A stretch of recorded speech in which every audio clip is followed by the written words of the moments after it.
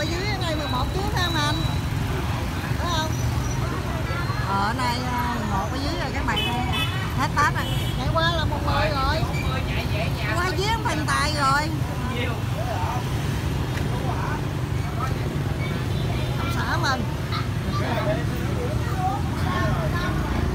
xã mình ổng à, ổng ăn bò kho các bạn ơi đoạn này à, mình ăn cái món này món này cho dễ ăn đi ha.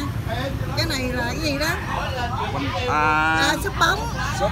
Súp bóng chỗ này nó ngon lắm nè. Ừ, có thảo nữa. Có hột vợ đám thảo nữa.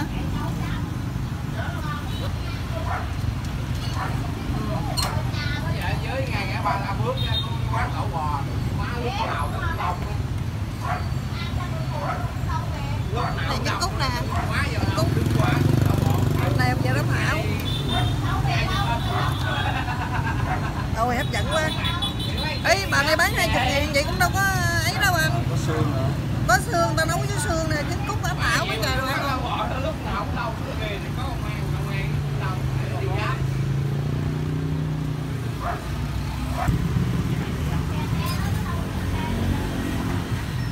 rồi món ăn của anh đâu. Gấp nước ớt bỏ vô cái nước tương á anh trọng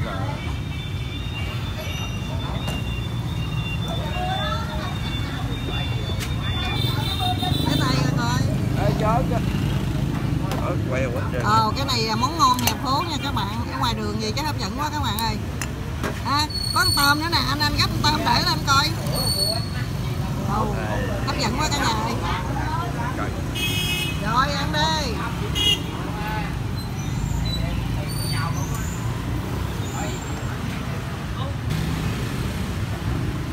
ba cái nhảy cái đêm cái đầu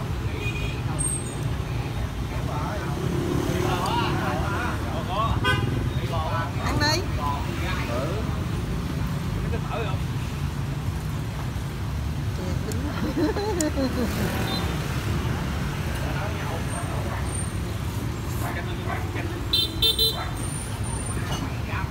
nước lèo nấu được không? Không biết thử không? Ờ, tôi này.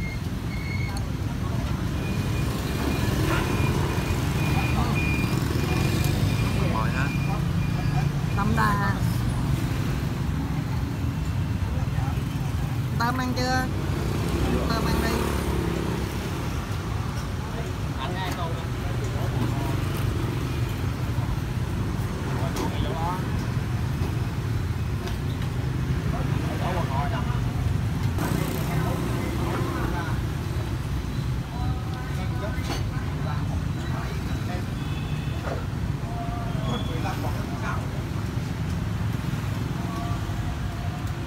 đẹp quá